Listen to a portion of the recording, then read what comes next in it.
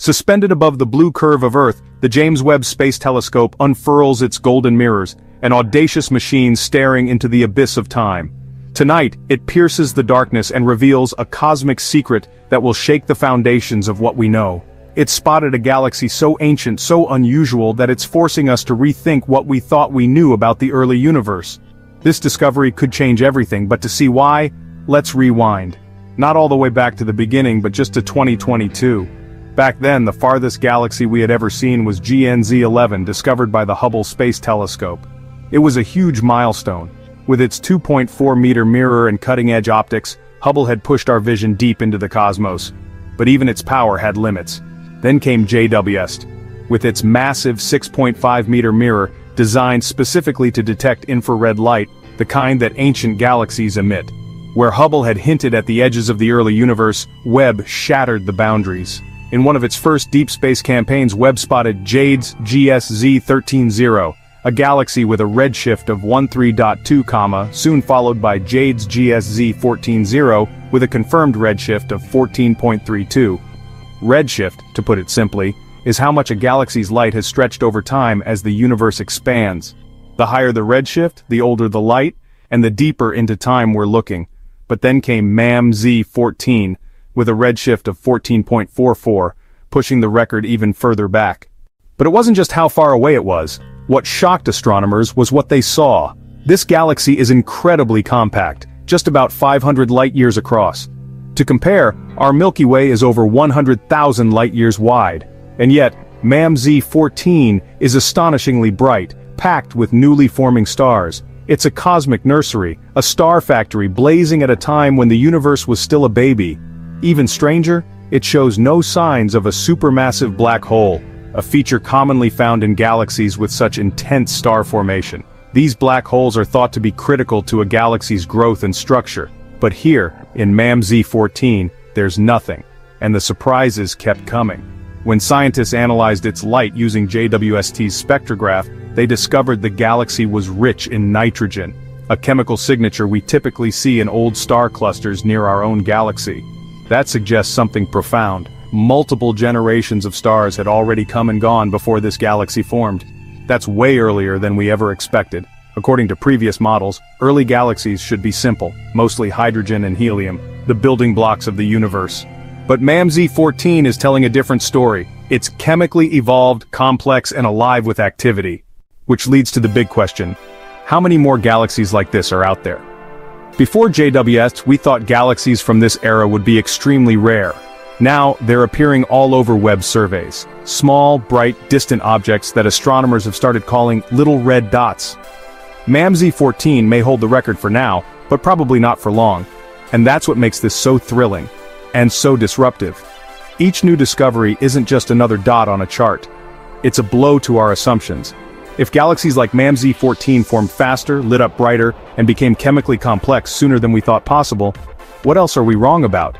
In short, yes, this challenges our models of the early universe. Those models predicted that galaxies would grow slowly, evolve gradually, and remain chemically simple for a long time, but this galaxy is none of that. It's fast, it's dense, it's messy, it's alive. That doesn't mean our science is wrong, but it is clearly incomplete. MoM-z14 is a message from the dawn of time, telling us that the early universe may have been far more dynamic and chaotic than we imagined.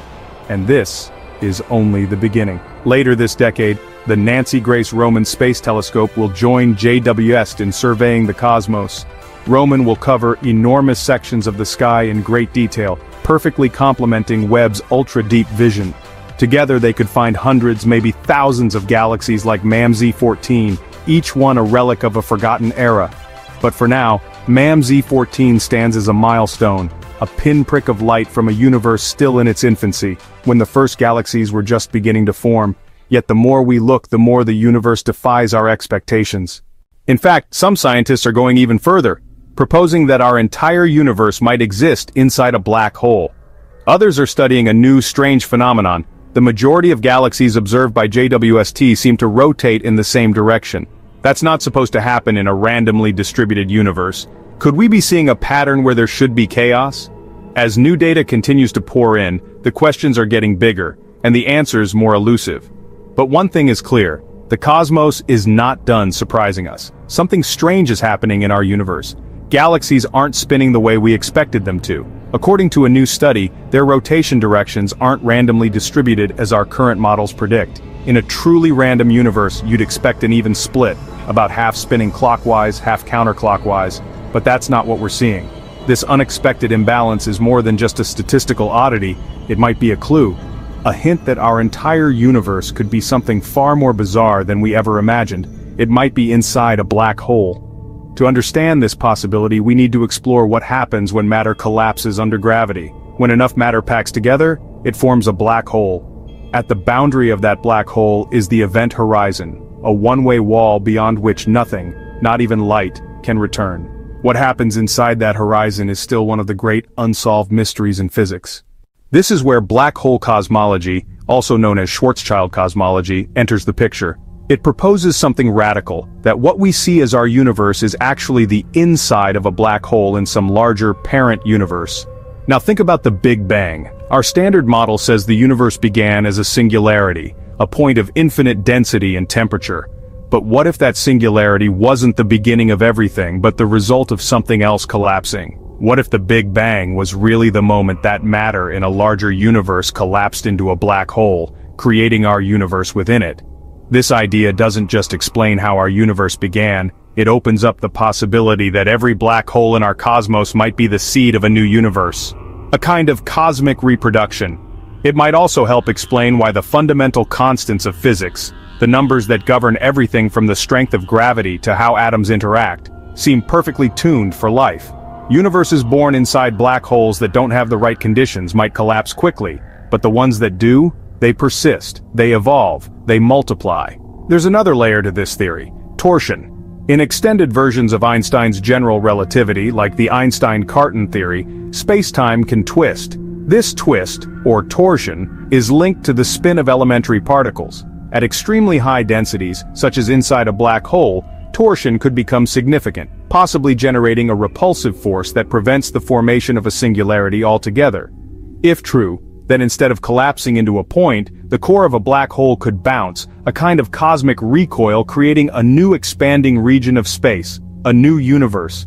That recoil? It might be what we call the Big Bang, not a mysterious explosion from nothing but a rebound from something, the death of one universe birthing the next in an endless cycle of cosmic rebirths. It's a mind-bending idea, but it might also help solve some of the puzzles we're currently facing. For instance, observations suggest the universe may have a preferred direction, a cosmic axis, along which structures like galaxies and galaxy clusters seem to align. That shouldn't happen in a universe that's isotropic, equal in all directions. But if our universe was spun into being from a rotating black hole, that axis could be a leftover signature of its origin. And then there's another mystery, the existence of enormous, mature galaxies far too early in the universe's timeline. These galaxies shouldn't have had enough time to form, and yet, they're there, billions of light years away, already massive, already complex. The black hole universe model might help explain that too. If cosmic time inside a black hole unfolds differently, if the flow of time is warped, it could lead to faster development of structure than our models predict. Still not every scientist is ready to embrace such a radical shift. There's a chance that some of these puzzling findings, like uneven galactic rotations or early massive galaxies, could be the result of miscalculations. Maybe we've misunderstood how fast the Milky Way spins, or maybe our instruments need more calibration. But even if these are measurement errors, one thing is clear. The universe is not as simple as we once believed, each new discovery, each anomaly is a crack in the surface of our current understanding, inviting us to look deeper, to ask bigger questions and maybe to accept stranger answers. So what do you think? Are we living inside a black hole? Is the universe part of a larger cosmic cycle, forever collapsing and rebirthing itself? Let us know your thoughts in the comments below. And if you're as fascinated by the universe as we are, don't forget to subscribe